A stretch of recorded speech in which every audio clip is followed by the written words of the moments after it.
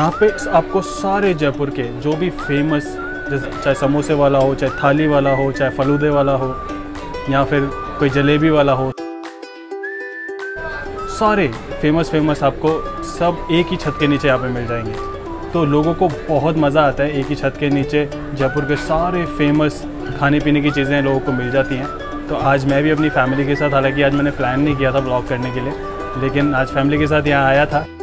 रात के आठ, साढ़े आठ बज रहे हैं अभी। तो यहाँ पे हमने बहुत सारी चीज़ें खाई, बहुत सारी चीज़ें ट्राई की। और क्योंकि सब अपने अपने काम में दिग्गज हैं, अपने अपने स्वाद में बहुत फ़ेमस है तो स्वाद हमेशा की तरह बहुत अच्छा था।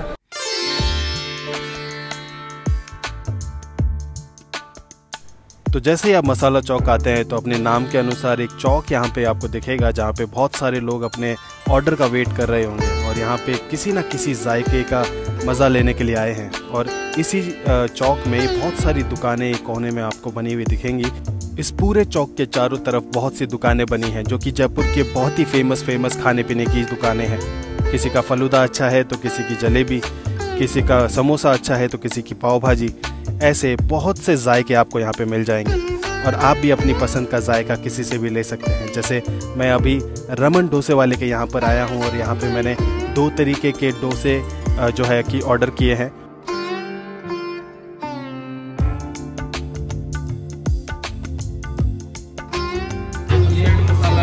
ये कौन सा? मसाला।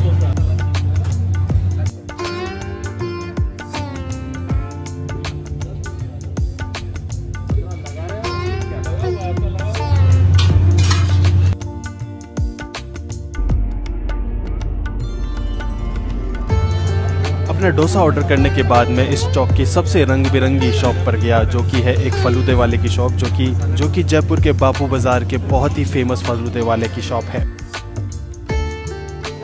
और इसी के तुरंत बाद मैं गया जयपुरी चटकारा की शॉप पर, जहाँ पर बहुत ही शानदार पाव भाजी और और अलग अलग तरह की चाट बनाई जा रही थी। और मैंने यहाँ पर भेलपुरी का एक ऑर्डर दिया, जो कि ये भाई साहब मेरे लिए भेलपुरी बना रहे हैं।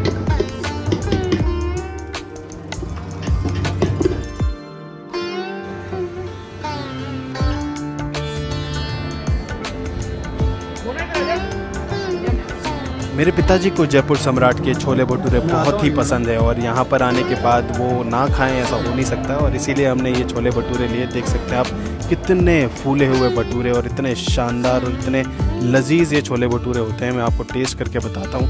बहुत ही शानदार। आप एक बार आएँ तो यहाँ पर इसको ज़रूर ट्राई करें।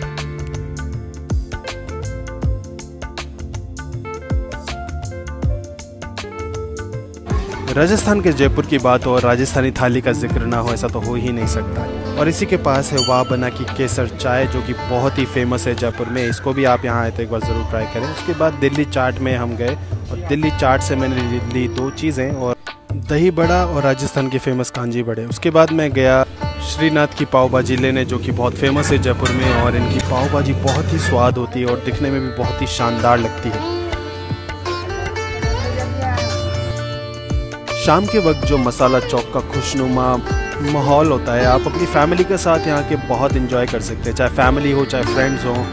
उन सब के साथ यहाँ आकर जयपुर के बहुत ही शानदार, सारे जायके एक ही छत के नीचे खाने का मज़ा ही कुछ और है। और यहाँ का जो फील है, वो बहुत ही शानदार है। और अपने सफ़र की जो अंत है, वो मैं कुछ मीठे के साथ करना चाहता हूँ। तो ये सम्राट की जो जलेबियाँ हैं मतलब इतनी शानदार, इतनी गर्म और कड़क और इसमें जो केसर के मीठी रस का जो जायका है वो मैं क्या ही बताऊँ। उसके बाद लास्ट में मैंने अपने भाई के लिए एक अंडा भुर्जी पैक कराई अंडे वाला। के यहाँ से जो इनकी अंडे वाला की भुर्जी बहुत पसंद की जाती है जयपुर में। तो यहाँ पे कैसे पहुँचना है मैं जल्दी से आपको बता देता हूँ। तो ये रामनिवास गार्डन में स्थित है, जयपुर के रामनिवास गार्डन। और ये आप कहीं से भी आ सकते हैं सिटी साइड से भी आ सकते हैं एम रोड वाला रास्ता भी आप ले सकते हैं। तो यहाँ आना बहुत सिंपल है ज़्यादा कठिन नहीं होता। दूसरा, यहाँ पे जब आप आ जाते हैं तो बाहर ही कार पार्किंग मिल जाती है और बाइक पार्किंग अगर आपको करनी है तो वो दूसरी तरफ़ आपको करनी पड़ेगी।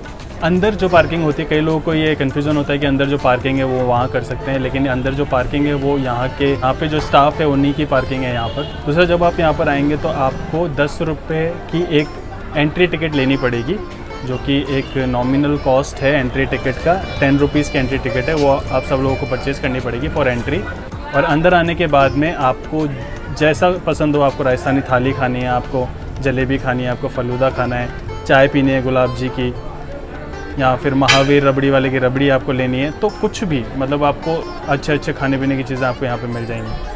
तो जैसे आज मैं अपनी फैमिली के साथ आया हूँ, आप भी अपनी फैमिली के साथ जाइए इन्जॉय कीजिए। जयपुर के सारे मज़ेदार फ्लेवर्स एक ही छत के नीचे हैं सो इन्जॉय